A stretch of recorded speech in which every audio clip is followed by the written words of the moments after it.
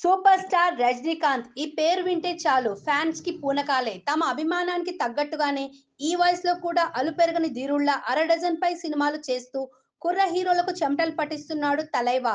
Jailer సినిమాతో bounce back అయిన Rajinikanth next చేయబోయే సినిమాల విషయంలోనూ సక్సెస్ సెంటిమెంట్ను కంటిన్యూ చేస్తున్నారు. ముఖ్యంగా జైలర్కు హెల్ప్ అయిన మల్టీ స్టారర్ ఫార్ములాను ఆల్రెడీ కమిట్ అయిన సినిమాలన్నిట్లోనూ ఇంప్లిమెంట్ చేస్తున్నారు. అంతేకాదు ఈసారి కాంబోస్ పాన్ ఇండియా రేంజ్లో సెట్ చేస్తున్నారు. జైలర్ సక్సెస్ అభిమానులకే కాదు తలైవాకి కూడా కొత్త జోష్ ఇచ్చింది.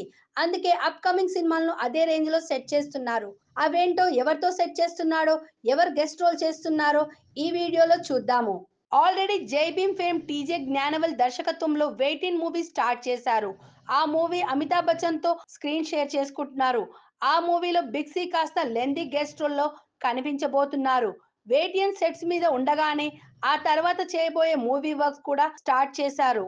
లియో తర్వాత రజనీకాంత్ హీరోగా ఒక సినిమా చేస్తున్నట్టుగా అనౌన్స్ చేశారు దర్శకుడు Lokesh Kanagaraj. Already pre production స్టేజ్లో ఉన్న ఈ మూవీని కాస్టింగ్ సెట్ చేస్తున్నారు.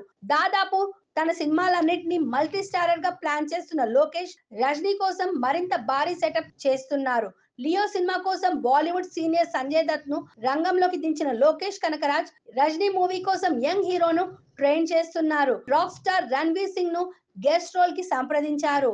రజనీ సినిమాలో ఛాన్స్ అంటే ఎవరైనా నో చెప్పే ఛాన్సే లేదు. జస్ట్ డేట్స్ సెట్ అయితే చాలు. రణ్వీర్ సౌత్ ఎంట్రీ ఫిక్స్ అయినట్టే అంటున్నారు కాలీవుడ్ జనాలు. ఆల్రెడీ రజనీ లోకేష్ సినిమాలకు కీలక పాత్రలో శివ కార్తికేయ నటించడం కన్ఫర్మ్ అయ్యింది.